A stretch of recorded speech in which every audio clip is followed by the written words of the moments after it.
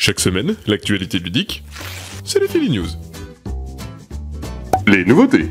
Participez à une compétition pâtissière et réalisez les plus belles recettes pour remporter un maximum de points.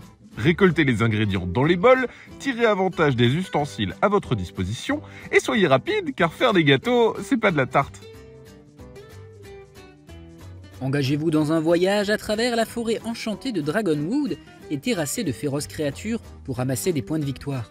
Réalisez des combinaisons avec vos cartes, équipez-vous, lancez les dés et obtenez des valeurs suffisantes pour capturer les monstres ou échouer lamentablement.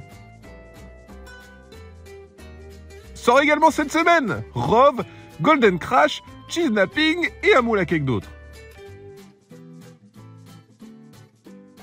Bientôt disponible Dans ce jeu de stratégie explosif, formez des groupes de ballons de la même couleur ou du même symbole et faites-les éclater pour marquer des points.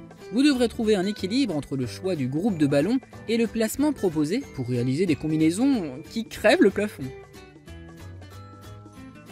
Construction de moteurs et programmation sont au menu dans ce jeu qui ne laisse rien au hasard. Incarnez un dieu du panthéon eldranique et assurez-vous la croyance des mortels. Fait mémorable, construction de monuments, domination, il faudra être stratège et audacieux pour se la jouer comme un dieu.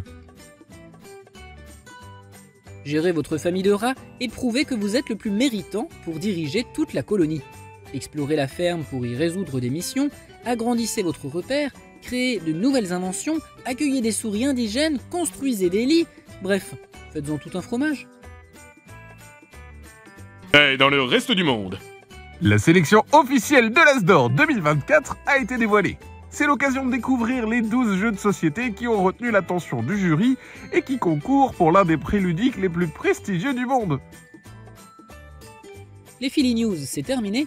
À la semaine prochaine et mangez des crêpes ce soir.